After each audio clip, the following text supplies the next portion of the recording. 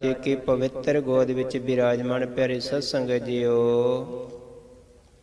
ਅਤੇ ਜਿੱਥੋਂ ਤੱਕ ਦਾਸ ਦੀ ਆਵਾਜ਼ ਪਹੁੰਚ ਰਹੀ ਹੈ, ਸਭਨੋਂ ਪਿਆਰ ਭਰੀ ਜੈ ਗੁਰਦੇਵ। ਜੈ ਸ੍ਰੀ ਗੁਰੂ ਰਵਿਦਾਸ।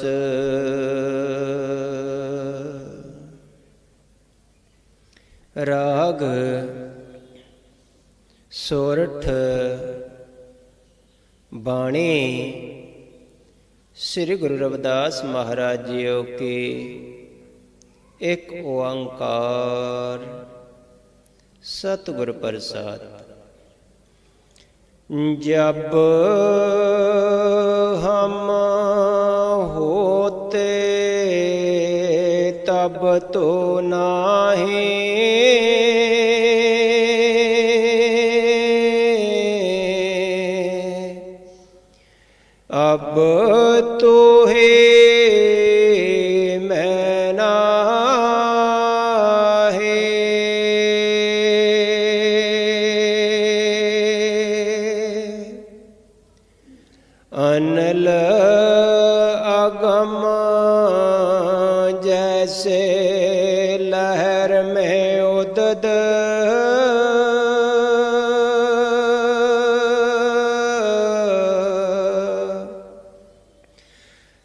ਜਲ ਕੇਵਲ ਜਲ ਮਾਹੇ।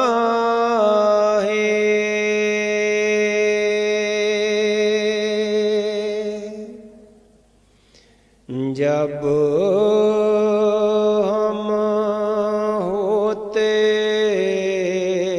ਤਬ ਤੋ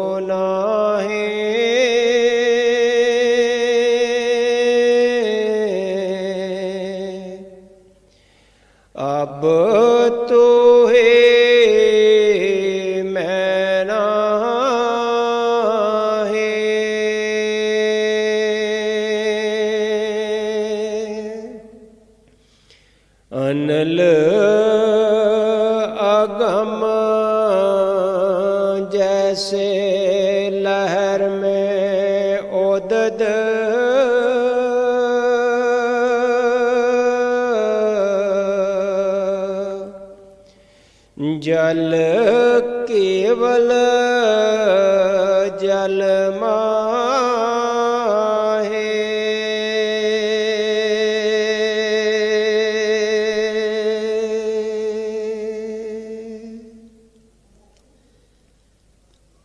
ਸਹਿਬ।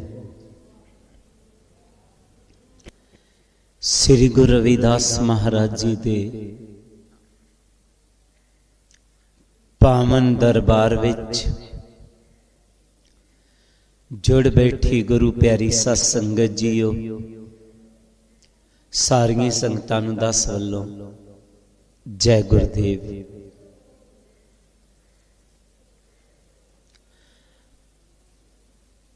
ਅੱਜ ਦੇ ਸਤਸੰਗ ਵਿੱਚ ਕੜਾ ਪ੍ਰਸਾਦ ਦੀ ਸੇਵਾ ਕਰ ਰਹੇ ਹਨ। ਸ੍ਰੀ ਤਾਰਾ ਚੰਦ ਜੀ। ਸ੍ਰੀਮਤੀ ਸੁਨੀਤਾ ਦੇਵੀ ਜੀ, ਵਿਜੇਪੁਰ ਸੰਨੀ ਵਾਲੇ। ਆਪਣੀ ਬੇਟੀ ਨੀਹਾ ਦੇ ਜਨਮਦਿਨ ਦੀ ਖੁਸ਼ੀ 'ਚ। ਸ੍ਰੀ ਰਸਪਾਲ ਚੰਦ ਜੀ ਏਐਸਆਈ ਫੂਲਪੁਰ ਵਾਲੇ। ਆਪਣੀ ਬੇਟੀ ਰੀਤੂ ਦੇ ਜਨਮਦਿਨ ਦੀ ਖੁਸ਼ੀ 'ਚ। ਮਾਸਟਰ ਨੰਦ ਲਾਲ ਜੀ ਜਗਤਪੁਰ ਵਾਲੇ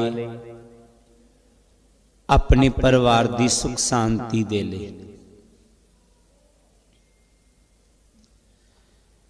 ਗੁਰੂ ਪਿਆਰੀ ਸਤ ਸੰਗਤ ਜੀਓ, ਪਾਠੀ ਸਾਹਿਬ ਜੀ ਨੇ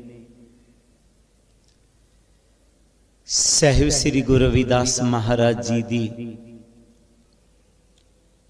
ਪਵਿੱਤਰ ਬਾਣੀ ਦਾ ਸ਼ਬਦ ਕਿਹਾ ਹੈ। ਜਬ ਹਮ ਹੋਤੇ, ਤਬ ਤੂੰ ਨਾਹੀ। ਅਬ ਤੂੰ ਹੈ, ਮੈਂ ਨਾਹੀ।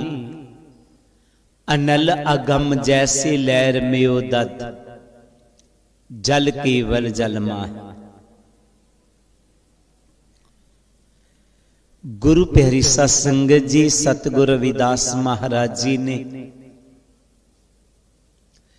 ਇਸ ਸ਼ਬਦ ਦੇ ਵਿੱਚ ਮੈਂ ਦੀ ਗੱਲ ਕੀਤੀ ਹੈ, ਜਦੋਂ ਇਨਸਾਨ ਦੇ ਵਿੱਚ ਮੈਂ ਆ ਜਾਂਦੀ ਹੈ, ਤਾਂ ਕੀ ਹੁੰਦਾ? ਹੈ ਜਿਤਨੀ ਦੇਰ ਤੱਕ ਇਨਸਾਨ ਦੇ ਵਿੱਚ ਮੈਂ ਨਹੀਂ ਹੁੰਦੀ, ਇਨਸਾਨ ਰੱਬ ਰੂਪ ਹੁੰਦਾ। ਜਦੋਂ ਇਨਸਾਨ ਦੇ ਵਿੱਚ ਮੈਂ ਆ ਜਾਂਦੀ ਹੈ, ਇਹ ਪ੍ਰਭੂ ਤੋਂ ਬਹੁਤ ਦੂਰ ਚਲਾ ਜਾਂਦਾ ਹੈ। ਛੋਟਾ ਜਿਹਾ ਬੱਚਾ ਹੁੰਦਾ ਹੈ, ਹਰ ਇੱਕ ਵੱਲ ਵੇਖ ਕੇ ਮੁਸਕਰਾਉਂਦਾ ਹੈ, ਹੱਸਦਾ ਹੈ। ਸਾਰੇ ਕਹਿਣਗੇ ਕਿ ਇਹ ਰੱਬ ਰੂਪ ਹੈ। ਜਿਉਂ ਹੀ ਥੋੜਾ ਵੱਡਾ ਹੁੰਦਾ ਹੈ ਉਹਦੇ ਵਿੱਚ। ਮੈਂ ਆ ਜਾਂਦੀ ਹੈ। ਪਹਿਲਾਂ ਤੋਂ ਸਭਨਾ ਦੇ ਕੋਲ ਚਲਾ ਜਾਂਦਾ ਸੀ। ਹੁਣ ਕੋਈ ਉਹਦੇ ਵੱਲ ਹੱਥ ਵਧਾਏ ਤੇ ਉਹਦੇ ਕੋਲ ਨਹੀਂ ਜਾਂਦਾ।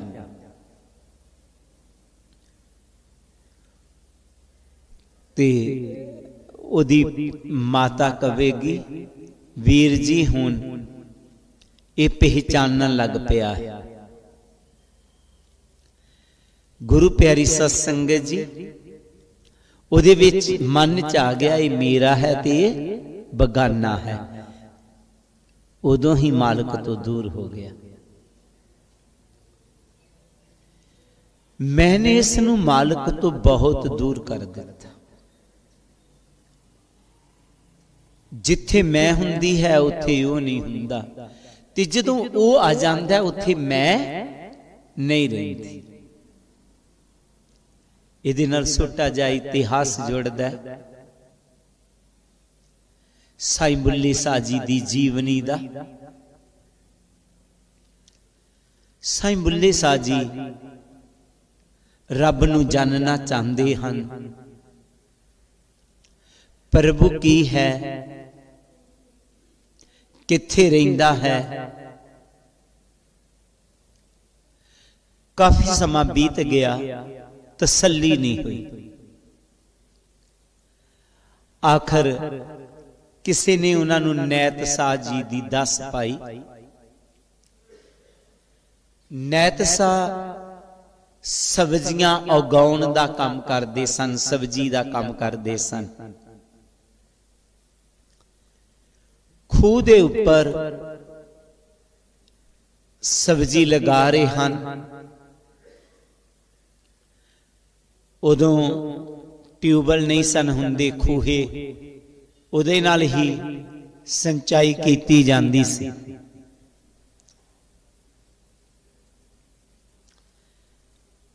ਬੈਠ ਗਏ।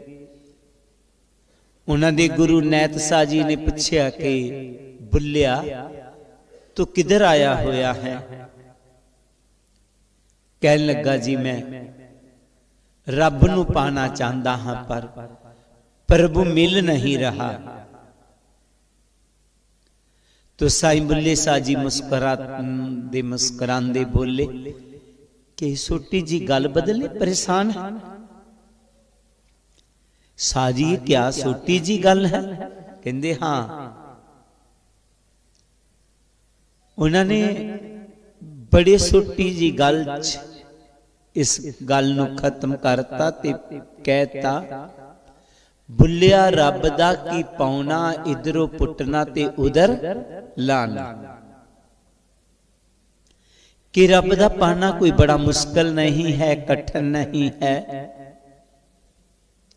ਬਸ ਮੈਨੂੰ ਖਤਮ ਕਰਕੇ ਤੂੰ ਨੂੰ ਲੈ ਆਉਣਾ ਮੈਂ ਖਤਮ ਹੋ ਗਈ, ਤੂੰ ਆ ਗਿਆ, ਤੋ ਤੂੰ ਹੋ ਗਿਆ। ਸਾਈਂ ਬੁੱਲੇ ਸਾਹ ਜੀ ਨੂੰ ਜਦੋਂ ਨੈਸ ਸਾਹ ਜੀ ਨੇ ਸਮਝਾਇਆ, ਆਖਰ ਗਿਆਨ ਹੋ ਗਿਆ। ਮਾਲਕ ਨੂੰ ਮਿਲ ਲਿਆ। ਬਹੁਤ ਖੁਸ਼ ਨੇ ਬੁੱਲੇ ਸਾਹ ਜੀ। ਘਰ ਆ ਗਏ। ਸਮਾਂ ਬੀਤਦਾ ਗਿਆ। ਇੱਕ ਦਿਨ ਸਾਈਂ ਬੁੱਲੇ ਸਾਹ ਜੀ ਕਿਸੇ ਵਿਆਹ ਦੀ ਪਾਰਟੀ 'ਚ ਗਏ ਹੋਏ ਸਨ ਤੇ ਕੁਦਰਤੀ ਨੈਤ ਸਾਹ ਜੀ ਵੀ ਉੱਥੇ ਆ ਗਏ ਜਦੋਂ ਨੈਤ ਸਾਹ ਜੀ ਉਹਦੇ ਗੁਰੂ ਵੀ ਉੱਥੇ ਆ ਗਏ, ਤਾਂ ਬੁੱਲੇ ਨੂੰ ਗੁਰੂ ਅੱਗੇ ਝੁਕਣਾ ਪੈਣਾ ਸੀ। ਇੱਕ ਗੱਲ ਇੱਥੇ ਯਾਦ ਰਹੇ, ਮੁਸਲਮਾਨਾਂ ਦੇ ਵਿੱਚ ਜਿਹੜਾ ਬੁੱਲਾ ਸੀ ਸਜਦ ਪਰਿਵਾਰ ਚ ਪੈਦਾ ਹੋਇਆ। ਸਜਦ ਪਰਿਵਾਰ ਜਿਹੜਾ ਹੁੰਦਾ ਹੈ, ਮੁਸਲਮਾਨਾਂ ਚ ਬਿਲਕੁਲ ਉੱਪਰ ਦੇ ਵਰਗ ਨੂੰ ਗਿਣਿਆ ਜਾਂਦਾ। ਔਰ ਜਿਹੜਾ ਨੈਤ ਸਾਹ ਜੀ ਉਹ ਰਾਈ ਸੀ ਜਿਸ ਤਰ੍ਹਾਂ ਅਸੀਂ ਹਿੰਦੂਆਂ ਚ ਕਹਿ ਦਿੰਦੇ ਹਾਂ, ਬ੍ਰਾਹਮਣ ਹੈ ਤੇ ਉਹ ਸੂਦਰ ਹੈ। ਇਸੇ ਤਰ੍ਹਾਂ ਮੁਸਲਮਾਨਾਂ ਚ ਵੀ ਕਿਹਾ ਜਾਂਦਾ। ਨੈਤਸਾ ਜੀ ਨੂੰ ਨਿਚਲੀ ਜਾਤੀ ਦਾ ਸਮਝਿਆ ਜਾਂਦਾ ਸੀ। ਤੇ ਬੁੱਲੇ ਸਾਹ ਜੀ ਸੋਚੀ ਪੈ ਗਏ ਕਿ ਮੇਰੀ ਉੱਚੀ ਜਾਤ ਹੈ। ਮੈਂ ਨੈਤਸਾ ਜੀ ਨੂੰ ਜਾ ਕੇ ਮੱਥਾ ਟੇਕਾਂਗਾ ਤੇ ਲੋਕੀ ਕਹਿਣਗੇ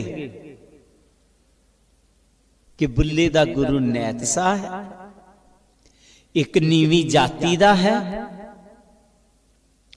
ਇਸ ਕਰਕੇ ਬੁੱਲੇ ਸਾਜੀ ਥੋੜੇ ਸਾਈਡ ਨੂੰ ਚਲੇ ਗਏ।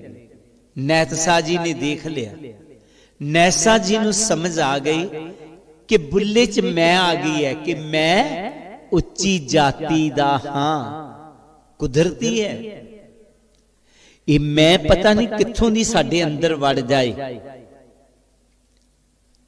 ਸਾਰਾ ਕੁਝ ਅਸੀਂ ਸਮਝਦੇ ਹੋਏ ਵੀ ਮੈਂ ਤੋਂ ਬਚ ਨਹੀਂ ਪਾ ਰਹੇ। ਕਿਸੇ ਨਾ ਕਿਸੇ ਤਰੀਕੇ ਸਾਡੇ ਚ ਮੈਂ ਆ ਹੀ ਜਾਂਦੀ ਹੈ। ਜਿਸ ਤਰ੍ਹਾਂ ਗੁਰੂ ਜੀ ਨੇ ਆਪਣੀ ਬਾਣੀ ਚ ਕਿਹਾ ਕਿ ਉਸ ਮਾਲਕ ਨੇ ਕੋਈ ਵੀ ਸਾਡੇ ਤੇ ਬਖਸ਼ਿਸ਼ ਕੀਤੀ, ਕੋਈ ਵੀ ਸਾਡੇ ਤੇ ਕਿਰਪਾ ਕੀਤੀ, ਅਸੀਂ ਉਹਦੀ ਬਖਸ਼ਿਸ਼ ਨੂੰ ਨਹੀਂ ਸਮਝਦੇ, ਅਸੀਂ ਉਹਦੀ ਕਿਰਪਾ ਨੂੰ ਨਹੀਂ ਸਮਝਦੇ, ਸਗੋਂ ਸਾਡੇ ਚ ਮੈਂ ਆ ਜਾਂਦੀ ਹੈ। ਹਮ ਬੱਡ ਕਬ ਲੀਨ ਹਮ ਪੰਡਿਤ ਹਮ ਜੋਗੀ ਸੰਿਆਸੀ ਗਿਆਨੀ ਗੁਨੀ ਸੂਰ ਹਮ ਦਾਤੈ ਐ ਬੁੱਧ ਕਬਹਿ ਨਾ ਨਾਸੀ।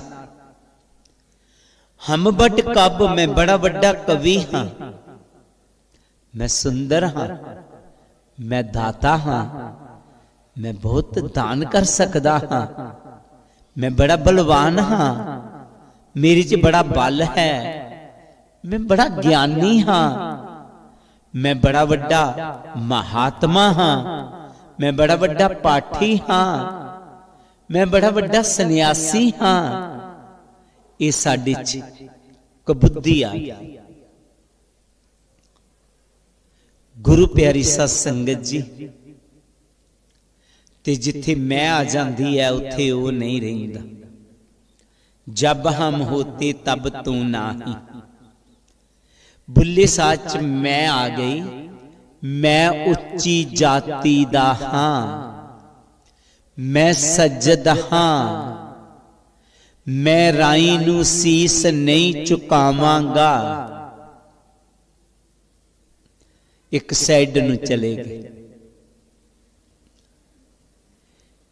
ਕਹਿੰਦੇ ਹਨ, ਜੇਕਰ ਗੁਰੂ ਨਜ਼ਰੋ ਨਜ਼ਰੀ ਨਿਹਾਲ ਕਰ ਦਿੰਦਾ ਤੇ ਜੇ ਸਾਡੀਆਂ ਨਜ਼ਰਾਂ ਇੱਕ ਸਾਈਡ ਤੇ ਹੋਈਆਂ, ਤੇ ਅਸੀਂ ਆਪਣੀਆਂ ਨਜ਼ਰਾਂ ਤੇ ਡਾਊਨ ਵੀ ਚਲੇ ਜਾਂਦੇ। ਬੁੱਲਾ ਵਿਚਾਰਾ ਬੁੱਲਾ ਹੀ ਰਹਿ ਗਿਆ। ਗੱਲ ਬਣੀ ਨਹੀਂ। ਸਿਮਰਨ ਤੇ ਬੈਠਾ ਸੁਰਤ ਜੁੜੀ ਨਹੀਂ।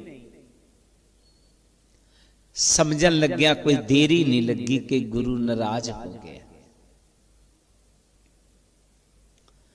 ਗੁਰੂ ਨੂੰ ਮਨਾਇਆ ਕਿਸ ਤਰ੍ਹਾਂ ਜਾਏ? ਸਾਈ ਬੁੱਲੇ ਸਾਜੀ ਬਹੁਤ ਪਰੇਸ਼ਾਨ ਹੋਣ ਲੱਗੇ। ਨੈਤ ਸ਼ਾਹ ਜੀ ਦੇ ਦਰਬਾਰ ਵਿੱਚ ਭੰਡਾਰਾ ਹੁੰਦਾ ਸੀ ਤੇ ਜਿਸ ਤਰ੍ਹਾਂ ਇਹ ਬੱਚੀਆਂ ਭਜਨ ਬੋ ਰਹੀਆਂ ਨੇ ਤੋ ਨੈਤਸਾ ਜੀ ਦੇ। ਪੰਡਾਲ ਦੇ ਵਿੱਚ ਨੱਚਿਆ ਜਾਂਦਾ ਸੀ।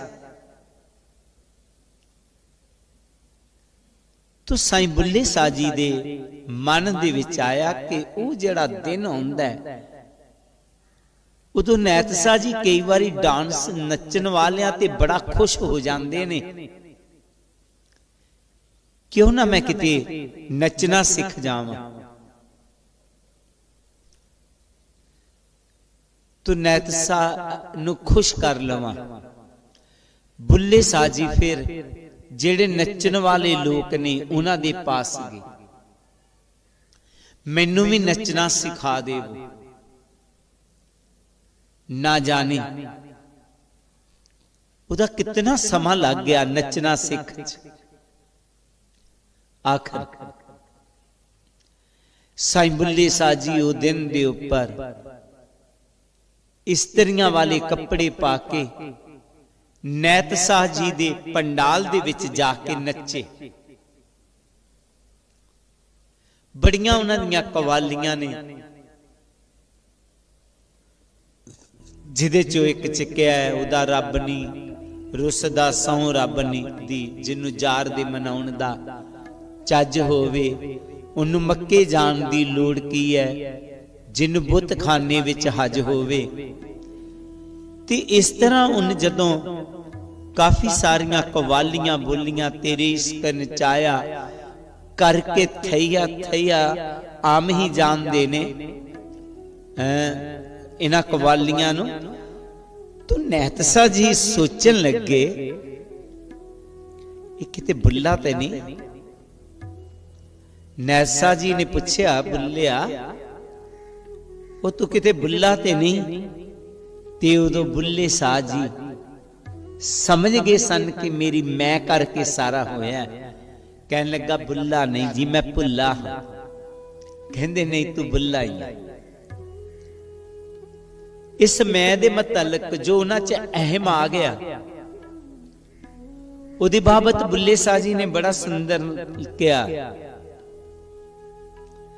ਜਦੋਂ ਉਹਦੀਆਂ ਪੈਣਾ ਪਰਜਾਈਆਂ ਰਲ ਕੇ ਉਹਦੇ ਕੋਲ ਆਂਦੀਆਂ ਤੇ ਕਹਿੰਦੀਆਂ ਨਾ, ਉਹ ਭੁੱਲਿਆ, ਬੜੇ ਅਫਸੋਸ ਦੀ ਗੱਲ ਹੈ। ਤੂੰ ਸਜਦ ਤੇ ਤੇਰਾ ਗੁਰੂ ਰਾਈ।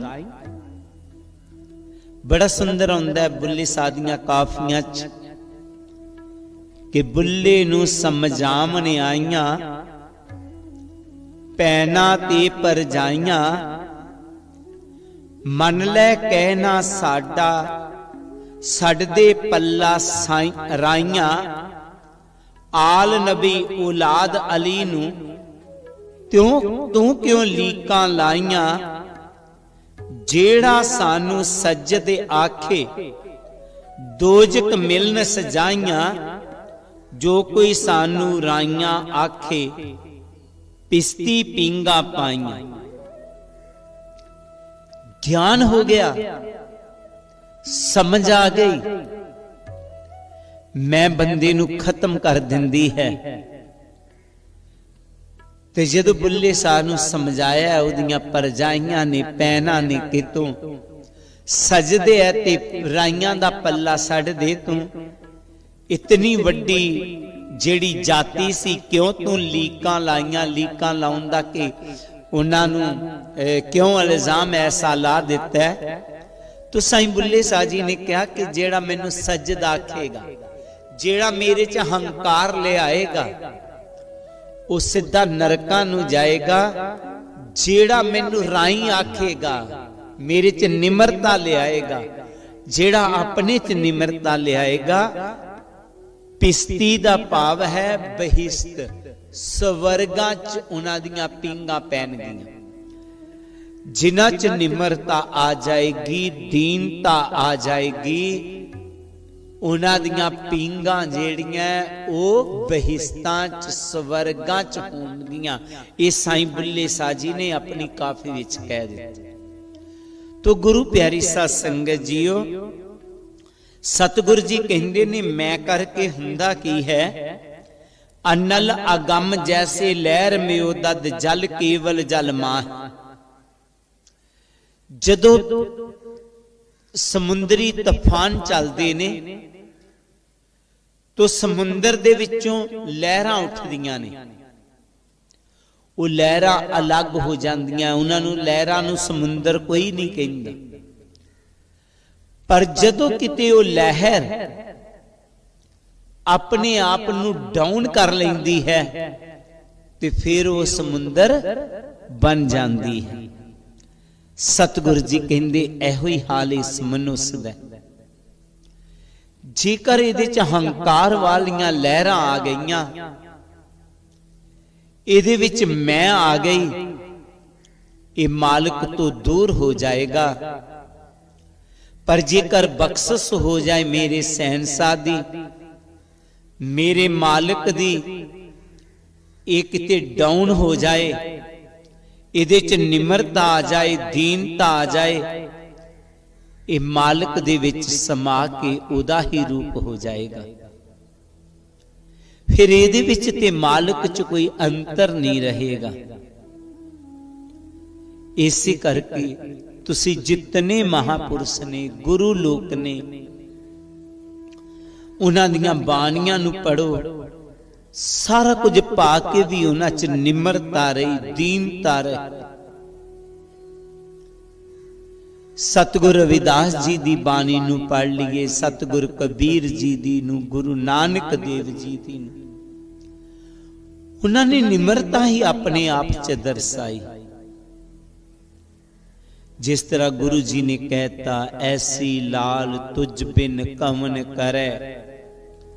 ਗਰੀਬ ਨਿਵਾਜ ਗੁਸਾਈਆਂ ਮੇਰਾ ਮਾਥੀ ਸਤਰ ਤੇ, ਜੋ ਵੀ ਮਾਨ ਸਨਮਾਨ ਹੈ, ਮਾਲਕਾ ਤੇਰੀ ਕਿਰਪਾ ਨਾਲ ਮੈਨੂੰ ਮਿਲਿਆ।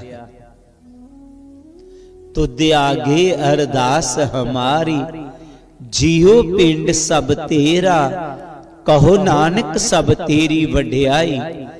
ਕੋਈ ਨਾਉ ਨਾ ਜਾਣੇ ਮੇਰਾ ਮੇਰਾ ਤੇ ਕੋਈ ਨਾਉ ਨਹੀਂ ਸੀ ਜਾਣਦਾ। ਐ ਤੇਰੀਆਂ ਹੀ ਕਿਰਪਾ ਨੇ, ਤੇਰੀਆਂ ਹੀ ਬਖਸ਼ਿਸ਼ਾਂ ਨੇ। ਜਿਹੜਾ ਉਸ ਮਾਲਕ ਦੀਆਂ ਬਖਸ਼ਿਸ਼ਾਂ ਸਮਝਦਾ ਹੈ, ਉਹਦੀਆਂ ਹੀ ਕਿਰਪਾ ਸਮਝਦਾ ਹੈ। ਗੁਰੂ ਪਿਆਰੀ ਸਤ ਸੰਗਤ ਜੀਓ, ਉਹਦਾ ਜੀਵਨ ਹੀ ਆਨੰਦਮਈ ਹੁੰਦਾ ਹੈ। ਜਿਨ੍ਹਾਂ ਚ ਮੈਂ ਆ ਜਾਂਦੀ ਹੈ, ਉਹ ਮਾਲਕ ਤੋਂ ਵੀ ਦੂਰ ਹੋ ਗਏ, ਆਨੰਦ ਤੋਂ ਵੀ ਦੂਰ ਹੋ ਗਏ। ਸੋ ਕੋਈ ਵੀ ਗੁਣ ਹੈ ਸਾਡੇ 'ਚ, ਕਿਸੇ ਗੁਣ ਦੀ ਵੀ ਮਾਲਕ ਨੇ ਬਖਸ਼ਿਸ਼ ਕਰ ਦਿੱਤੀ ਹੋਈ ਹੈ, ਉਹਦੀ ਕਦੇ ਮੈਂ ਨਹੀਂ ਲਿਆ। ਬਸ ਸਾਡੇ 'ਚ ਮੈਂ ਨਾ ਹੋਵੇਗੀ। ਦੁਨੀਆ 'ਚੋਂ ਝਗੜੇ ਖਤਮ, ਟੈਨਸ਼ਨ ਨਾ ਖਤਮ, ਸਾਰਾ ਕੁਝ ਖਤਮ। ਆਪਣੇ ਆਪ ਹੀ ਇਨਸਾਨ ਦਾ ਜੀਵਨ ਆਨੰਦਮਈ ਹੋ ਜਾਏਗਾ ਔਰ ਮਾਲਕ ਦੇ ਨਾਲ ਮਿਲਨ ਹੋ ਜਾਏਗਾ। ਗੁਰੂ ਜੀ ਆਪਣੀ ਬਾਣੀ 'ਚ ਅੱਗੇ ਫਰਮਾਉਂਦੇ ਹਨ। ਮਹਾਦਵੇ ਕਿਆ ਕਹੀਐ ਪਰਮ ਐਸਾ?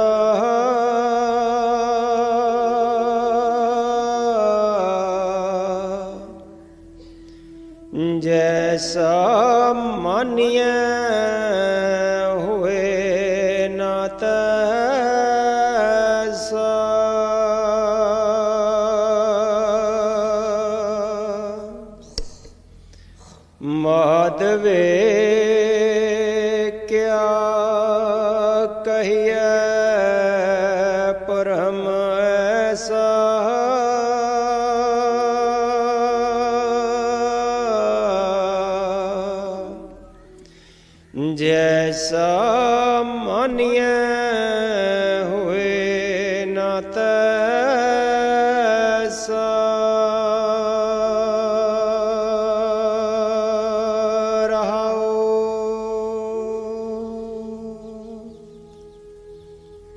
ਸਤਿਗੁਰ ਜੀ ਕਹਿ ਰਹੇ ਨੇ,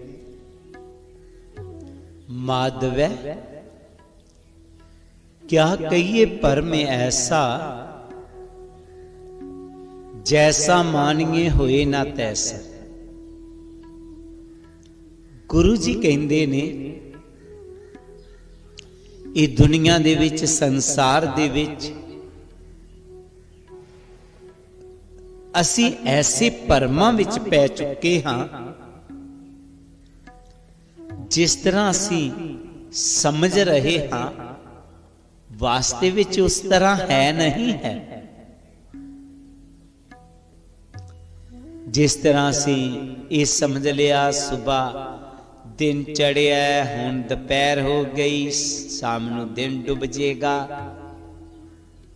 ਪਰ ਐਸਾ ਹੁੰਦਾ ਨਹੀਂ ਹੈ। ਦਿਨ ਡੁੱਬਦਾ ਨਹੀਂ ਹੈ ਚੜਦਾ ਨਹੀਂ ਹੈ ਅੱਜ ਵਿਗਿਆਨਕ ਨੇ ਦੱਸਦਾ ਸੂਰਜ ਇਧਰੋਂ ਚੜਿਆ ਇੱਧਰ ਡੁੱਬਿਆ ਜਾ ਕਰਕੇ ਵਿਗਿਆਨਕ ਕਹਿੰਦੀ ਨਹੀਂ ਇਸ ਤਰ੍ਹਾਂ ਹੈ ਨਹੀਂ ਸੂਰਜ ਆਪਣੀ ਜਗ੍ਹਾ ਤੇ ਖੜਾ ਹੈ ਕੇਵਲ ਧਰਤੀ ਘੁੰਮਦੀ ਹੈ ਇਹ ਐਸਾ ਪਰਮ ਹੈ ਜੋ ਤਰ੍ਹਾਂ ਹੀ ਸਮਝ ਰਹੇ ਹਾਂ, ਉਸ ਤਰ੍ਹਾਂ ਦਾ ਹੈ ਨਹੀਂ। ਅਸੀਂ ਕਹਿੰਨੇ ਮੁੰਡਾ ਜਵਾਨ ਹੋ ਗਿਆ ਹੈ, ਵੱਡਾ ਹੋ ਗਿਆ ਹੈ, ਜਿਉਂ-ਜਿਉਂ ਉਮਰ ਵੱਧਦੀ ਜਾਂਦੀ ਹੈ। ਅਸੀਂ ਸੋਚਦੇ ਹਾਂ, ਇਹ ਜੋ ਬੱਚਾ ਹੈ ਵੱਡਾ ਹੋ ਜਾ ਹੁੰਦਾ ਜਾ ਰਿਹਾ। ਪਰ ਨਹੀਂ, ਅਸਲ ਚ ਉਹ ਛੋਟਾ ਹੁੰਦਾ ਜਾ ਰਿਹਾ, ਉਹਦੀ ਜ਼ਿੰਦਗੀ ਨਿੱਕੀ ਹੁੰਦੀ ਜਾ ਰਹੀ। ਜੈਸਾ ਮਾਨੀਏ ਹੋਏ ਨਾ ਤੈਸਾ, ਜਿਸ ਤਰ੍ਹਾਂ ਅਸੀਂ ਸਮਝ ਰਹੇ ਹਾਂ, ਉਸ ਤਰ੍ਹਾਂ ਹੈ ਨਹੀਂ ਹੈ ਕੁਝ ਨਹੀਂ ਹੈ।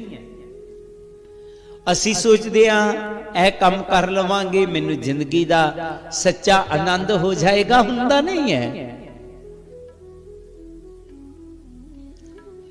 ਮੇਰੇ ਬੱਚੇ ਵਿਆਹੇ ਜਾਣਗੇ, ਮੈਂ ਜ਼ਿੰਦਗੀ ਦਾ ਸੁੱਖ ਪਾਵਾਂਗਾ। ਹੁੰਦਾ ਨਹੀਂ ਹੈ। ਮੇਰੇ ਪੁੱਤਰੇ ਹੋ ਜਾਣਗੇ, ਸੁਖੀ ਹੋ ਜਾਵਾਂਗੇ। ਹੁੰਦਾ ਨਹੀਂ ਹੈ। ਜਿਸ ਤਰ੍ਹਾਂ ਅਸੀਂ ਸੋਚ ਰਹੇ ਹਾਂ, ਵਾਸਤੇ ਵੀ ਉਸ ਤਰ੍ਹਾਂ ਦਾ ਹੈ ਨਹੀਂ ਹੈ। ਬਿਲਕੁਲ ਉਲਟ ਹੈ। ਕਿਉਂ ਉਲਟ ਹੈ? ਸਾਡੀ ਅਗਿਆਨਤਾ ਦੇ ਕਾਰਨ। ਜੋ ਅਸੀਂ ਅਗਿਆਨਤਾ 'ਚ ਪੈ ਗਏ ਹੋਏ ਹਾਂ, ਅਗਿਆਨਤਾ ਕਰਕੇ ਹੀ ਉਲਟਾ ਪੁਲਟਾ ਹੋ ਰਿਹਾ ਹੈ। ਅਗਿਆਨਤਾ ਕਰਕੇ ਹੀ ਅਸੀਂ ਦੁਖੀ ਹੋ ਰਹੇ ਸਤਿਗੁਰਾਂ ਨੇ ਇਸ ਪਰਥਾਏ ਆਪਣੀ ਪਵਿੱਤਰ ਬਾਣੀ 'ਚ ਇਸ ਜੀਵ ਨੂੰ ਸਮਝਾਉਂਦੇ ਹੋਏ ਆਉਂ ਕਿਹਾ ਹੈ। ਨਰਪਤ ਏਕ ਸਿੰਘਾਸਣ ਸੋਇਆ।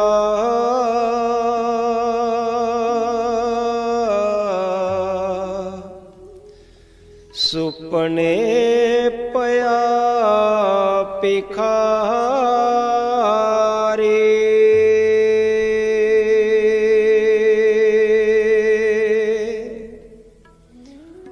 छः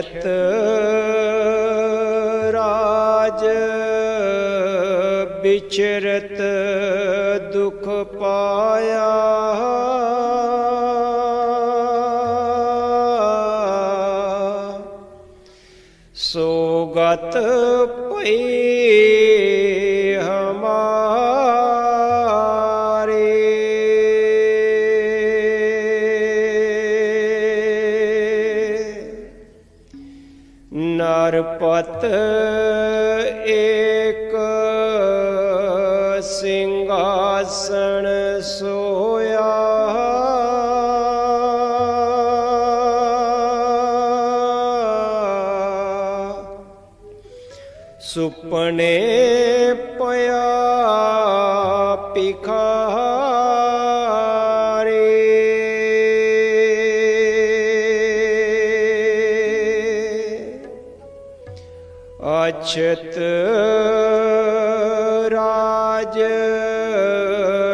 ਵਿਚਰਤ ਦੁਖ ਪਾਇਆ।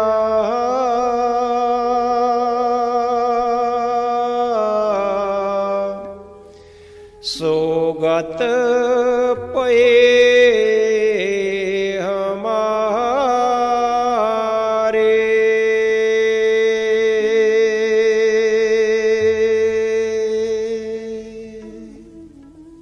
ਗੁਰੂ ਜੀ ਕਹਿ ਰਹੇ ਨੇ ਜੈਸਾ ਮਾਨੀਏ ਹੋਏ ਨਾ ਤੈਸਾ ਜਿਸ ਤਰ੍ਹਾਂ ਅਸੀਂ ਮੰਨ ਲਿਆ ਉਸ ਤਰ੍ਹਾਂ ਦਾ ਹੈ ਕੁਝ ਨਹੀਂ ਹੈ ਕੀ ਮੰਨ ਲਿਆ ਹੈ ਕੀ ਸੀ ਗੁਰੂ ਜੀ ਨੇ ਬੜਾ ਸੁੰਦਰ ਤਰੀਕੇ ਨਾਲ ਕਿਹਾ ਨਰਪਤ ਏਕ ਸਿਗਾਸਨ ਸੋਇਆ ਸੁਪਨੇ ਪਿਆ ਪਿਖਾਰ ਸਾਡੀ ਹਾਲਤ ਕਿਸ ਤਰ੍ਹਾਂ ਦੀ ਬਣ ਚੁੱਕੀ ਕਹਿੰਦੇ ਜਿਸ ਤਰ੍ਹਾਂ ਕੋਈ ਰਾਜਾ ਸੀ, ਉਹ ਆਪਣੇ ਸਿਗਾਸਨ ਤੇ ਬੈਠਾ ਹੋਇਆ ਸੀ। ਅਨੇਕਾਂ ਹੀ ਨੌਕਰ ਚਾਕਰ ਉਸ ਰਾਜਾ ਦੇ ਹੁਕਮ ਦੀ ਉਡੀਕ ਚ ਨੇ। ਕੋਈ ਰਾਜਾ ਨੂੰ ਪੱਖਾ ਚੁਲਾ ਰਿਹਾ ਹੈ, ਕੋਈ ਰਾਜਾ ਦੇ ਪੈਰ ਦਬਾ ਰਿਹਾ ਹੈ। ਰਾਜਾ ਨੂੰ ਬੜਾ ਸੁੱਖ ਸੀ। ਇਸ ਸੁੱਖ ਚ ਰਾਜਾ ਦਾ ਫਰਜ਼ ਸੀ, ਉਹ ਜਾਗਦਾ ਵੀ ਰਹਿੰਦਾ। ਪਰ ਰਾਜਾ ਸੌਂ ਗਿਆ। ਜਾਂ ਰਾਜਾ ਸੌਂ ਜਾਂਦਾ ਹੈ, ਤਾਂ ਰਾਜਾ ਨੂੰ ਸੁਪਨਾ ਆਉਂਦਾ ਹੈ। ਸੁਪਨੇ ਦੇ ਵਿੱਚ ਉਹ ਭਿਖਾਰੀ ਬਣ ਜਾਂਦਾ ਹੈ ਵਿਚਾਰਾ। ਭਿਖਾਰੀ ਜਦੋਂ ਬਣ ਜਾਂਦਾ ਹੈ, ਤੇ ਉਹ ਮੰਗਦਾ ਹੈ। ਤੇ ਮੰਗਿਆ ਉਹਨੂੰ ਕੋਈ ਵੀ ਖੈਰ ਨਹੀਂ ਪਾਉਂਦਾ। ਲੋਕ ਕਹਿੰਦੇ ਨੇ, ਤੂੰ ਇਤਨਾ ਤਕੜਾ ਹੈ, ਤੇਰੇ ਕੋਲ ਕਮਾਈ ਨਹੀਂ ਜਾਂਦੀ, ਤੈਨੂੰ ਮੰਗਦੇ ਨੂੰ ਸ਼ਰਮ ਨਹੀਂ ਆਂਦੀ ਉਹ ਵਿਚਾਰਾ ਦੁਖੀ ਹੁੰਦਾ। ਪਰ ਇਹ ਦੁੱਖ ਉਸ ਨੂੰ ਹੈ ਕਿਤਨੀ ਦੇਰ ਤੱਕ? ਜਿਤਨੀ ਦੇਰ ਤੱਕ ਉਹ ਸੁੱਤਾ ਹੋਇਆ ਹੈ। ਕਾਸ਼ ਕਿਤੇ ਉਹ ਜਾਗ ਪਵੇ। ਤੋ ਕੀ ਦੇਖੇਗਾ ਉਹ ਭਿਖਾਰੀ ਨਹੀਂ ਸੀ ਉਹ ਰਾਜੇ ਦਾ ਰਾਜਾ ਹੀ ਸੀ ਦੁੱਖ ਕਿਤਨੀ ਦੇਰ ਤੱਕ ਹੈ ਉਸ ਨੂੰ ਜਿਤਨੀ ਦੇਰ ਤੱਕ ਸੁੱਤਾ ਹੋਇਆ ਹੈ ਅਗਰ ਉਹ ਜਾਗ ਪਵੇ ਤੋ ਦੇਖ ਲੇਗਾ ਮੈਂ ਭਿਖਾਰੀ ਨਹੀਂ ਹਾਂ ਮੈਂ ਰਾਜੇ ਦਾ ਰਾਜਾ ਹਾਂ ਸੋਗਤ ਪਈ ਹਮਾਰੀ। ਉਹੀ ਹਾਲਤ ਸਾਡੀ ਹੈ। ਅਸੀਂ ਮਾਲਕ ਦਾ ਰੂਪ ਸਾਂ। ਮਾਲਕ ਨੇ ਸਾਨੂੰ ਆਪਣੇ ਵਰਗਾ ਬਣਾ ਕੇ ਭੇਜਿਆ ਸੀ। ਤੇ ਕੀ ਮਾਲਕ ਦੁਖੀ ਹੁੰਦਾ ਕਦੇ ਨਹੀਂ ਹੁੰਦਾ। ਪ੍ਰਭੂ ਤੇ ਸਾਰਿਆਂ ਨੂੰ ਸੁਖ ਦੇਣ ਵਾਲਾ ਹੈ। ਉਹ ਦੁਖੀ ਕਿਉਂ ਹੋਵੇਗਾ? ਤੇ ਉਹਦੀ ਅੰਸ ਵੀ ਕਿਉਂ ਦੁਖੀ ਹੋਵੇਗੀ? ਪਰ ਹੋਇਆ ਕਿ? ਅਸੀਂ ਵੀ ਉਹ ਰਾਜੇ ਵਾਂਗ ਅਗਿਆਨਤਾ ਦੀ ਨੀਂਦ ਵਿੱਚ ਸੌਂਗੇ ਹੋਏ ਹਾਂ। ਅਗਿਆਨਤਾ ਚ ਪੈ ਕਰਕੇ ਸ਼ਰਾਬਾਂ ਕਬਾਬਾਂ ਚ ਮਨ ਨੂੰ ਲਗਾ ਲਿਆ। ਨਿੰਦਿਆ ਤੇ ਚੁਗਲੀਆਂ ਨੂੰ ਲਗਾ, ਚ ਲਗਾ ਲਿਆ। ਸਾਡੇ ਮਨਾਂ ਦੇ ਵਿੱਚ ਨਫ਼ਰਤ, ਭਾਵਨਾ ਆ ਗਈ, ਜਿਹਦੇ ਕਰਕੇ ਅਸੀਂ ਅੱਜ ਦੁਖੀ ਹਾਂ। ਜਿਤਨਾ ਵੀ ਦੁੱਖ ਹੈ, ਇਹਨੂੰ ਸਮਝੋ ਕਿਉਂ ਹੈ? ਸਾਡੀ ਅਗਿਆਨਤਾ। ਸਾਡੇ ਵਿੱਚ ਜੋ ਵਿਕਾਰ ਆਏ, ਉਹਨਾਂ ਨੇ ਦੁਖੀ ਕਰ ਦਿੱਤਾ ਸਾਨੂੰ। ਕਾਸ਼ ਇਹ ਸਾਡੀ ਅਗਿਆਨਤਾ ਖਤਮ ਹੋ ਜਾਏ ਸਾਡੇ ਚੋਂ ਵਿਕਾਰ ਖਤਮ ਹੋ ਜਾਣ ਇਹ ਅਬ ਗੁਨਾ ਦਾ ਅਸੀਂ ਤਿਆਗ ਕਰ ਦਈਏ ਤੇ ਫਿਰ ਕੀ ਆ ਫਿਰ ਅਸੀਂ ਰਾਜੇ ਹੀ ਆ ਸਾਨੂੰ ਕੋਈ ਵੀ ਦੁੱਖ ਨਹੀਂ ਹੋਵੇਗਾ ਇਸ ਕਰਕੇ ਅਗਿਆਨਤਾ ਚ ਨਹੀਂ ਰਹਿਣਾ। ਮੈਂ ਉਹਦੇ ਤੋਂ ਵੱਡਾ ਹਾਂ। ਮੈਂ ਉਹਦਾ ਗੁਲਾਮ ਨਹੀਂ ਹਾਂ। ਮੈਂ ਉਸ ਨੂੰ ਇਸ ਤਰ੍ਹਾਂ ਕਰਾਂਗਾ। ਬਸ ਇਹੀ ਅਗਿਆਨ। ਜੋ ਨਫ਼ਰਤ ਹੈ ਇਹ ਕਿਸੇ ਨੂੰ ਤੇ ਦੁਖੀ ਕਰਦੀ ਕਰਦੀ ਹੈ ਆਪ ਇਨਸਾਨ ਜ਼ਿਆਦਾ ਦੁਖੀ ਹੁੰਦਾ ਹੈ ਇਹਦੇ ਕਰਕੇ ਦਾਸ ਨੇ ਕਈ ਵਾਰੀ ਬੇਨਤੀ ਕੀਤੀ ਹੈ ਕਿ ਮਾਚਿਸ ਦੀ ਤੀਲੀ ਕਿਸੇ ਨੂੰ ਤੇ ਜਲਾਉਂਦੀ ਹੈ ਪਰ ਆਪੇ ਵੀ ਜਲ ਜਾਂਦੀ ਹੈ ਇਸ ਕਰਕੇ ਅਸੀਂ ਅਗਿਆਨਤਾ ਚ ਨਹੀਂ ਰਹਿਣਾ ਅਸੀਂ ਸਤਿਗੁਰ ਰਵਿਦਾਸ ਮਹਾਰਾਜ ਜੀ ਦੇ ਬੱਚੇ ਹਾਂ। ਅਗਿਆਨਤਾ ਚੋਂ ਜਾਗਣਾ ਜਦੋਂ ਅਗਿਆਨਤਾ ਚੋਂ ਜਾਗ ਪਵਾਂਗੇ, ਤਾਂ ਸਮਝ ਲਓ ਸਾਡਾ ਜੀਵਨ ਆਨੰਦਮਈ ਹੋ ਜਾਏਗਾ। ਇਹ ਗੱਲ ਸਮਾਜਿਕ ਜੀਵਨ ਨਾਲ ਵੀ ਸਾਡੀ ਬੜੀ ਟੁਕਮੀ ਹੈ। ਜੋ ਗੁਰੂ ਜੀ ਨੇ ਕਿਹਾ, ਨਰਪਤ ਏਕ ਸਿੰਘਾਸਨ ਸੋਇਆ ਸਪਨੇ ਪਿਆ ਭਿਖਾਰੀ। ਅਸਤ ਰਾਜ ਬਿਸਰਤ ਦੁਖ ਪਾਇਆ ਅਗਿਆਨਤਾ ਦੁੱਖ ਦਾ ਕਾਰਨ ਬਣੀ। ਕਦੀ ਸਮਾਂ ਸੀ ਅੱਜ ਤੋਂ ਕਈ ਹਜ਼ਾਰਾਂ ਸਾਲ ਪਹਿਲਾਂ, ਭਾਰਤ ਦੇਸ਼ ਦੇ ਵਿੱਚ ਇਥੋਂ ਦੇ ਮੂਲ ਨਿਵਾਸੀਆਂ ਦਾ ਰਾਜ ਸੀ। ਹੜੱਪਾ ਮਹਿੰਜੋਦੜੋ ਸਭਿਅਤਾ ਦੱਸਦੀ ਹੈ ਕਿ ਜਦੋਂ ਮੂਲ ਨਿਵਾਸੀਆਂ ਦਾ ਇੱਥੇ ਰਾਜ ਸੀ ਇਹਨਾਂ ਦਾ ਜੀਵਨ ਬੜਾ ਆਨੰਦਮਈ ਜੀਵਨ ਸੀ। ਕੀ ਹੋਇਆ? ਆਰੀਅਨ ਲੋਕ ਬਾਹਰੋਂ ਆਏ ਈਰਾਨ ਇਰਾਕ ਚਾਹੇ ਕਿਸੇ ਵੀ ਬਾਹਰ ਦੇ ਮੁਲਕਾਂ ਚੋਂ ਇੱਥੇ ਆਏ। ਉਹਨਾਂ ਨੇ ਆਉਂਦਿਆਂ ਜਦੋਂ ਸਮਝਿਆ ਕਿ ਇਹ ਜਿਹੜੇ ਲੋਕ ਐ ਇਹ ਬੜੇ ਤਕੜੇ ਨੇ ਬੜੇ ਸੂਝਵਾਨ ਨੇ। ਔਰ ਜੇਕਰ ਇਹਨਾਂ ਨੂੰ ਸਾਡੇ ਨਾਲ ਲੜਨਾ ਪਿਆ ਤਾਂ ਸਾਨੂੰ ਇਹ ਖਤਮ ਕਰ ਦੇਣ ਕਿਉਂ ਨਾ ਇਹਨਾਂ ਨੂੰ ਅਗਿਆਨਤਾ ਚ ਪਾ ਦਿੱਤਾ ਜਾਏ। ਉਹਨਾਂ ਨੇ ਸਭ ਤੋਂ ਪਹਿਲਾਂ ਇਹਨਾਂ ਨੂੰ ਨਸ਼ੇ ਕਰਨ ਦੀ ਆਦਤ ਦੱਸੀ। ਨਸ਼ੇ ਬਣਾਉਣ ਦੀ ਆਦਤ ਦੱਸੀ। ਜਿਹਨੂੰ ਨਸ਼ੇ ਦਾ ਰੋਗ ਲੱਗ ਜਾਏ, ਫਿਰ ਉਹ ਨਸ਼ਾ ਛੱਡਦਾ ਨਹੀਂ। ਹੈ ਉਹਨਾਂ ਦੇ ਘਰ-ਬਾਰ ਬਰਬਾਦ ਹੋ ਜਾਂਦੇ ਆ, ਵਿਚਾਰੇ ਸਾਰੇ ਪਰੇਸ਼ਾਨ ਹੋ ਜਾਂਦੇ ਆ। ਪਰ ਜਿੰਨੂੰ ਇੱਕ ਵਾਰੀ ਨਸ਼ਾ ਲੱਗ ਜਾਂਦਾ, ਉਹ ਛੱਡਦਾ ਨਹੀਂ। ਐ ਸਾਡੇ ਇਧਰ ਹੀ ਦੇਖਦੇ ਆ ਕਈ ਵਾਰੀ ਕਿ ਲੋਕ ਵਿਚਾਰੇ ਘਰ ਵਾਲੇ ਪਰੇਸ਼ਾਨ ਨੇ, ਉਹ ਬੱਚੇ ਚੰਗੇ ਚੰਗੇ ਹੁੰਦੇ ਨੇ।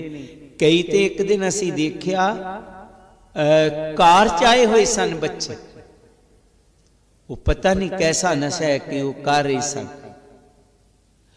ਤੋ ਇਸ ਤਰ੍ਹਾਂ ਕਰਨ ਦੇ ਨਾਲ ਇਹ ਕੁਦਰਤੀ ਹੈ ਨਸ਼ਿਆਂ ਦੇ ਨਾਲ ਸਾਡੀ ਬੁੱਧੀ ਪਰਿਸ਼ਟ ਹੋ ਜਾਂਦੀ ਹੈ। ਗਿਆਨ ਚਲਾ ਜਾਂਦਾ ਹੈ।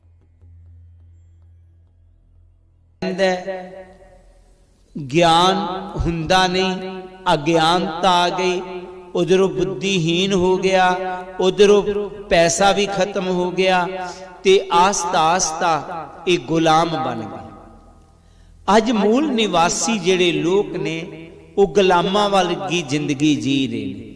ਕਾਸ, ਉਹ ਲੋਕ ਜਿਹੜੇ ਨੇ, ਗਿਆਨਵਾਨ ਹੋ ਜਾਣ, ਨਸ਼ਿਆਂ ਦਾ ਤਿਆਗ ਕਰ ਦੇਣ, ਆਪਸੀ ਪ੍ਰੇਮ ਤੇ ਪਿਆਰ ਆ ਜਾਏ, ਭਾਈਚਾਰਾ ਆ ਜਾਏ, ਤੂੰ ਦੁਬਾਰਾ ਕੀ ਦੇਖਣਗੇ? ਉਹ ਭਿਖਾਰੀ ਨਹੀਂ ਹਨ। ਉਹ ਇਸ ਮੂਲ ਨਿਵਾਸੀ ਲੋਕ ਭਾਰਤ ਦੇ ਮਾਲਕ ਹਨ। ਫਿਰ ਉਹਨਾਂ 'ਚ ਗੁਣ ਆ ਸਕਦਾ। ਜਿਤਨੀ ਦੇਰ ਤੱਕ ਇਹ ਅਗਿਆਨਤਾ 'ਚ ਰਹੇਗਾ, ਉਤਨੀ ਦੇਰ ਤੱਕ ਹੀ ਦੁਖੀ ਰਹੇਗਾ। ਸੋ ਅਸੀਂ ਕੋਸ਼ਿਸ਼ ਕਰਨੀ ਹੈ ਸਮਾਜਿਕ ਤੌਰ ਤੇ ਵੀ, ਅਧਿਆਤਮਿਕ ਤੌਰ ਤੇ ਵੀ, ਕਿ ਅਸੀਂ ਇਸ ਅਗਿਆਨਤਾ 'ਚ ਨਹੀਂ ਪੈਣਾ ਅਗਿਆਨਤਾ 'ਚੋਂ ਬਾਹਰ ਨਿਕਲਣਾ ਕੋਈ ਸਾਡੇ 'ਚ ਵਿਕਾਰ ਨਾ ਰਹੇ ਅਬਗੁਣ ਨਾ ਰਹੇ। ਔਰ ਅਸੀਂ ਜੋ ਸਤਿਗੁਰਾਂ ਨੇ ਆਪਣੀ ਬਾਣੀ ਦੇ ਵਿੱਚ ਕਿਹਾ ਕਿ ਜੈਸਾ ਮਾਨੀਏ ਹੋਏ ਨਾ ਤੈਸਾ, ਐਸਾ ਨਾ ਰੇ। ਜੋ ਅਸੀਂ ਸਮਝ ਰਹੇ ਹਾਂ, ਉਹੀ ਹੋਵੇ। ਉਹ ਤਾਂ ਹੀ ਹੋਏਗਾ ਜਦੋਂ ਸਾਡੇ 'ਚ ਪਵਿੱਤਰਤਾ ਆਏਗੀ। ਸੁਧਤਾ ਆਏਗੀ ਜਦੋਂ ਅਸੀਂ ਅਗਿਆਨਤਾ 'ਚੋਂ ਜਾਗ ਪਵਾਂਗੇ, ਸਤਿਗੁਰ ਰਵਿਦਾਸ ਮਹਾਰਾਜ ਜੀ ਦੀ ਬਾਣੀ ਐਸੀ ਹੈ, ਜੋ ਸਾਨੂੰ ਅਗਿਆਨਤਾ 'ਚੋਂ ਗਿਆਨ ਮਾਰਗ ਤੇ ਲੈ ਜਾਂਦੀ ਹੈ, ਜੋ ਸਾਨੂੰ ਆਪਣੇ ਆਪ ਦੀ ਸੋਝੀ ਦੇ ਦਿੰਦੀ ਹੈ। ਇਸ ਕਰਕੇ ਉਹਨਾਂ ਦੀ ਬਾਣੀ ਨੂੰ ਆਪਣੇ ਜੀਵਨ 'ਚ ਅਮਲੀ ਤੌਰ ਤੇ ਅਪਣਾਓ, ਤਾਂ ਕਿ ਅਸੀਂ ਅਗਿਆਨਤਾ 'ਚੋਂ ਨਿਕਲ ਕੇ ਗਿਆਨਵਾਨ ਹੋ ਸਕੀਏ। ਅਸੀਂ ਦੁੱਖਾਂ ਤੋਂ ਨਿਕਲ ਕੇ ਆਨੰਦ ਮਾਰਗ ਤੇ ਚੱਲ ਸਕੀਏ। ਗੁਰੂ ਜੀ ਫਿਰ ਆਪਣੀ ਬਾਣੀ 'ਚ ਅੱਗੇ ਫਰਮਾਉਂਦੇ ਹਨ। ਰਾਜ ਪੁਯੰਗ ਪਰਸੰਗ ਜੈਸੇ ਹੈ।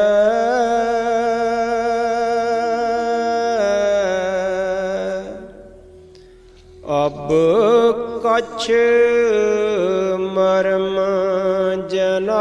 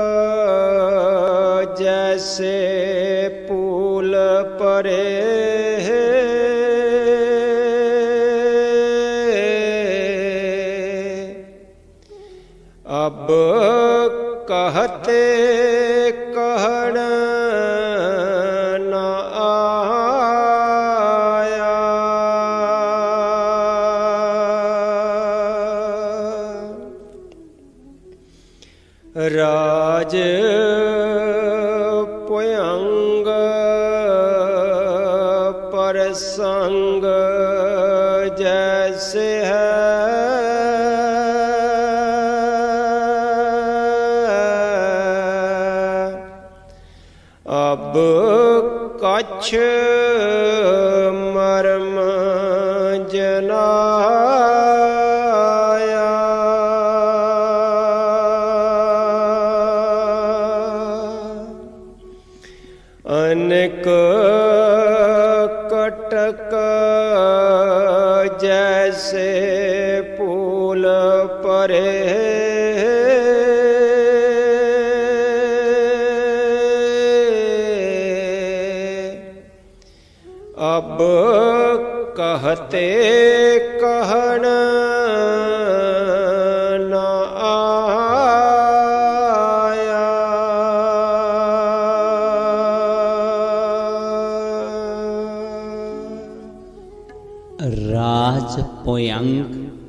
ਪ੍ਰਸੰਨ, ਪ੍ਰਸੰਗ ਜੈਸੇ।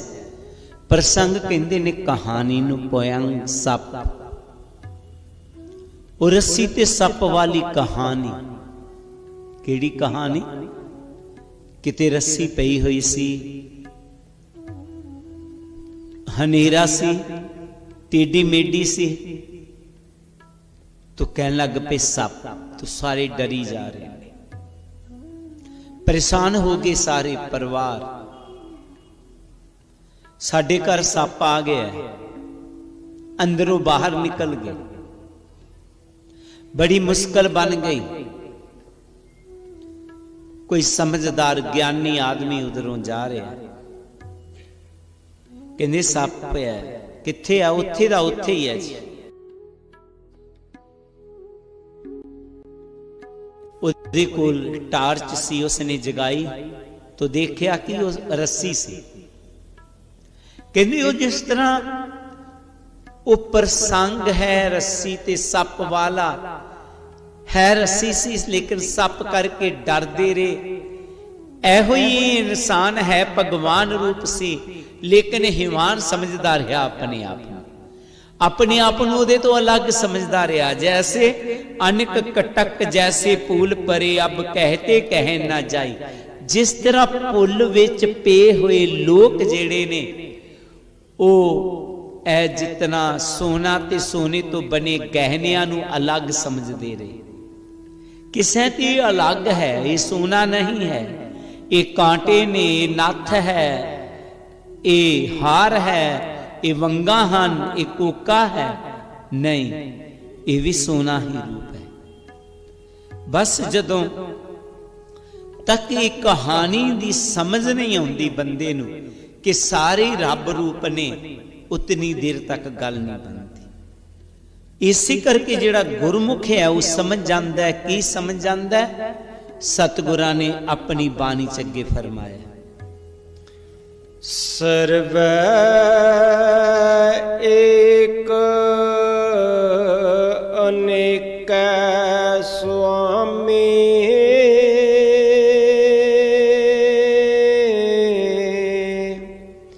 ਸਭ ਘਟ ਭੋਗਵੈ ਸੋਏ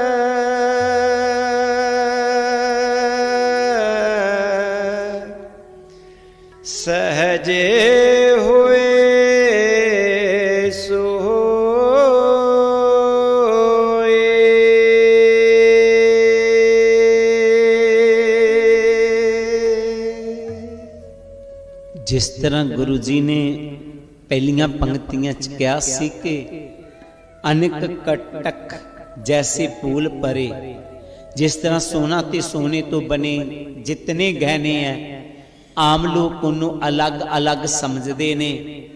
ਪਰ ਹੈ ਉਹ ਸੋਨਾ ਹੀ ਹੈ ਇਸੇ ਤਰ੍ਹਾਂ ਜਿਹੜੇ ਅਗਿਆਨੀ ਲੋਕ ਨੇ, ਇਨਸਾਨਾਂ ਦੇ ਵਿੱਚ ਫ਼ਰਕ ਸਮਝਦੇ ਨੇ। ਪਰ ਹੈ ਸਾਰਿਆਂ ਚੋਂ ਮਾਲਕ ਹੈ। ਸਰਬੇ ਏਕ ਅਨੇਕੇ ਸੁਆਮੀ ਸਭ ਘਟ ਬੁਕ ਵੇਸੋਈ। ਰੱਬ ਇੱਕ ਹੈ ਲੇਕਿਨ ਸਭਨਾਂ ਦੇ ਵਿੱਚ ਸਮਾਇਆ ਹੋਇਆ ਹੈ।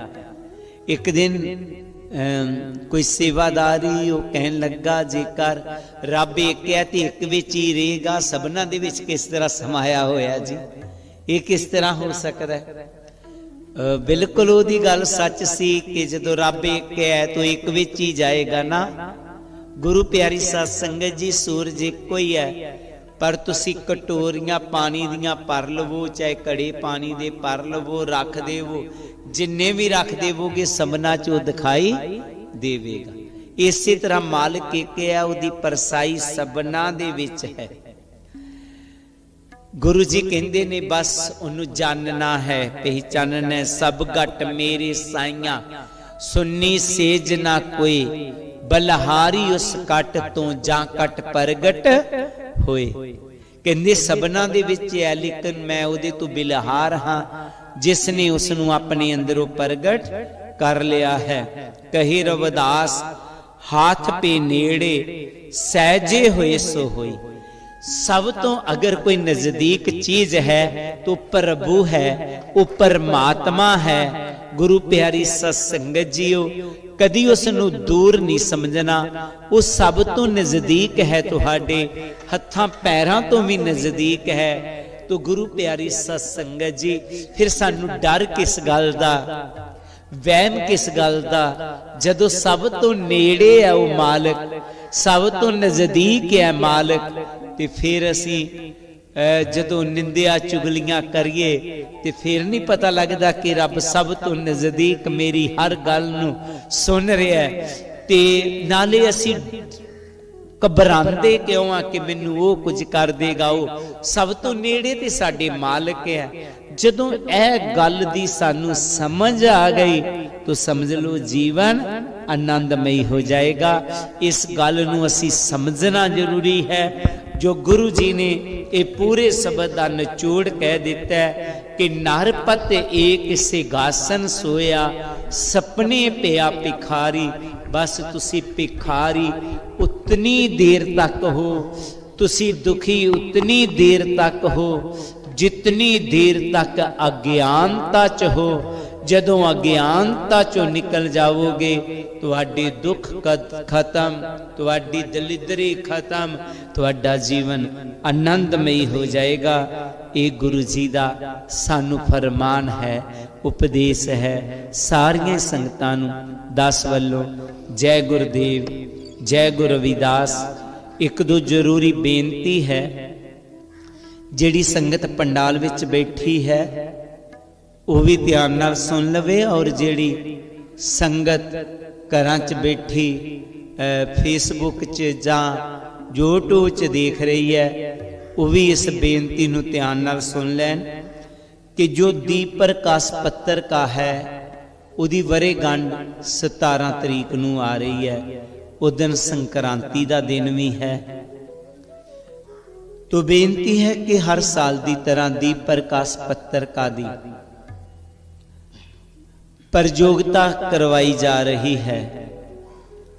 ਜਿਹੜੇ ਵੀ ਲੋਕ ਇਹਦੇ ਚ ਪ੍ਰਯੋਗਤਾ ਚ ਹਿੱਸਾ ਲੈਣਾ ਚਾਹਣ, ਉਹ ਲੈ ਸਕਦੇ ਨੇ। ਜਿੰਨੇ ਵੀ ਪਾਠ। ਇਹ ਪ੍ਰਯੋਗਤਾ ਕਿਉਂ ਕਰਵਾਈ ਜਾਂਦੀ ਹੈ? ਇਸੇ ਲਈ ਕਿ ਜੋ ਮਿਹਨਤ ਕਰਦੇ ਨੇ ਦੀਪ ਪ੍ਰਕਾਸ਼ ਚ, ਕੀ ਇਹਨੂੰ ਕੋਈ ਪੜਦਾ ਵੀ? ਪਤਾ ਚੱਲ ਸਕੇ ਤੋ ਇਹਨਾਂ ਜੋ ਵੀ ਕਿਤਾਬ ਹੈ, ਦੀਪ ਪ੍ਰਕਾਸ਼ ਪੱਤਰ ਕਾ, ਇਹਨੂੰ ਜ਼ਰੂਰ ਪੜਨਾ ਔਰ ਬੇਨਤੀ ਹੈ ਕਿ ਜਿਨ੍ਹਾਂ ਕੋਲ ਦੀਪ ਪ੍ਰਕਾਸ਼ ਪੱਤਰ ਕਾ ਨਹੀਂ ਹਨ, ਉਹ ਆਫਿਸ ਚੋਂ ਦੂਸਰੀ ਸਾਈਡ ਤੋਂ ਲੈ ਸਕਦੇ ਨੇ। ਇਹ ਪੱਤਰ ਕਾ ਜਿਹੜੀਆਂ ਨੇ, ਜਿਸ ਤਰ੍ਹਾਂ ਪਹਿਲਾਂ ਵੀ ਦੱਸਿਆ ਜਾਂਦਾ ਹੈ, ਪਿਛਲੇ ਸਾਲ ਵਾਂਗ ਸਤੰਬਰ ਮਹੀਨੇ ਤੋਂ ਲੈ ਕਰ ਅਕਤੂਬਰ ਮਹੀਨੇ ਤੋਂ ਲੈ ਕੇ ਇਸ ਮਹੀਨੇ ਦੇ ਸਤੰਬਰ ਤੱਕ ਜਿੰਨੀਆਂ ਮੈਗਜ਼ੀਨਾਂ ਆਈਆਂ ਹਨ, ਉਹਨਾਂ ਦੇ ਵਿੱਚੋਂ ਸਵਾਲ ਪਾਏ ਜਾਂਦੇ ਹਨ ਤੇ ਉਹਨਾਂ ਨੂੰ ਹੀ ਟਿਕ ਮਾਰ ਕੇ ਠੀਕ ਹੈ, ਗਲਤ ਹੈ, ਉਹ ਦੱਸਣਾ ਹੁੰਦਾ ਤੇ ਇਸ ਕਰਕੇ ਇਹ ਜਿਹੜੀ ਪ੍ਰਯੋਗਤਾ ਦਾ ਟਾਈਮ ਹੈ 10 ਤੋਂ 11 ਵਜੇ ਦਾ ਹੋਣਾ ਇਸੇ ਹੀ ਪੰਡਾਲ ਵਿੱਚ। ਤੋ ਬੇਨਤੀ ਹੈ ਜੇਕਰ ਚੇਂਜ ਕਰਨਾ ਪਿਆ ਤਾਂ ਉਹ ਦੇਖ ਲੈਣਗੇ ਵੈਸੇ। ਇੱਥੇ ਹੀ ਹਰ ਸਾਲ ਹੁੰਦਾ ਤੇ ਇਸੇ ਪੰਡਾਲ ਦੇ ਵਿੱਚ ਇਹ ਪ੍ਰਯੋਗਤਾ ਹੋਵੇਗੀ। ਦੂਜੀ ਬੇਨਤੀ ਹੈ ਕਿ ਹੋ ਸਕਦਾ ਹੈ ਕਈਆਂ ਦੇ ਮਨ ਚ ਆਏ ਕਿ ਅਸੀਂ ਵੀ ਅਹ, ਸ਼ਬਦ ਬੋਲਣ ਦਾ ਸਾਨੂੰ ਵੀ ਟਾਈਮ ਪਤਾ ਨਹੀਂ ਮਿਲੇ ਨਾ ਮਿਲੇ। ਹਾਂ ਕੋਈ ਵੀ ਭਜਨ ਸ਼ਬਦ ਬੋਲਣਾ ਚਾਹੇ ਉਹ ਸਟੇਜ ਤੇ ਬੋਲ ਸਕਦਾ ਹੈ, ਪਰ ਪਹਿਲਾਂ ਉਹਨੂੰ ਜਿਹੜੇ ਸੇਵਾਦਾਰ ਨੇ, ਉਹਨਾਂ ਨੂੰ ਬੋਲ ਕੇ ਦੱਸਣਾ ਪਵੇਗਾ ਕਿ ਉਹ ਇਸ ਯੋਗ ਹੈ, ਨਹੀਂ ਹੈ। ਇਸ ਕਰਕੇ ਅਗਰ ਕਿਸੇ ਦੇ ਮਨ 'ਚ ਖਾਹਸ ਹੋਏ ਕਿ ਮੈਂ ਵੀ ਭਜਨ ਬੋਲਾਂ, ਮੈਂ ਵੀ ਸ਼ਬਦ ਬੋਲਾਂ, ਜਿੰਨੇ ਵੀ ਸਰੋਤੇ ਸੁਣ ਰਹੇ ਹਨ, ਉਹਨਾਂ ਨੂੰ ਬੇਨਤੀ ਕਿ ਹਾਂ, ਉਹ ਵੀ ਬੋਲ ਸਕਦੇ ਆ, ਬਸਰਤ ਹੈ ਕਿ ਸੇਵਾਦਾਰ ਉਹਨੂੰ ਬੋਲਣ ਦੀ ਇਜਾਜ਼ਤ ਦੇਣ ਇਹ ਜ਼ਰੂਰੀ ਬੇਨਤੀ ਸੀ ਸਾਰੀਆਂ ਸੰਗਤਾਂ ਨੂੰ ਜੈ ਗੁਰਦੇਵ ਜੈ ਗੁਰੂ ਰਵਿਦਾਸ ਆਓ ਆਰਤੀ ਨਾਲ ਜੁੜੀਏ